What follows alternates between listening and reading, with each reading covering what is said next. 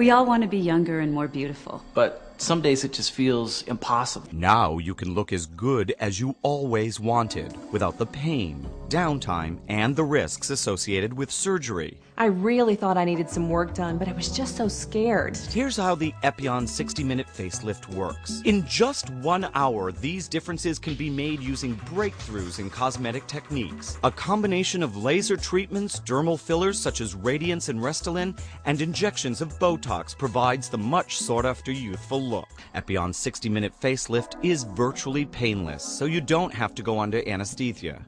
And quick, so you can go back to work faster.